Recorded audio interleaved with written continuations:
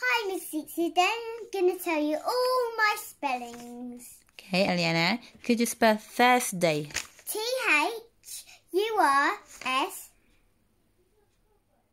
D A Y. Good. Burst. B U R S T. Good. Church. C H U R C H. Hurt. H U R T. Turn. T U R N. Good. Well done. Book. B O O K. Foot. F O O T. Good.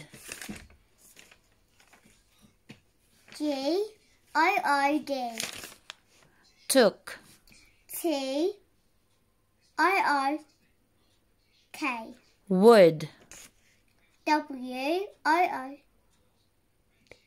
D. Well done, Eliana. Bye. Bye.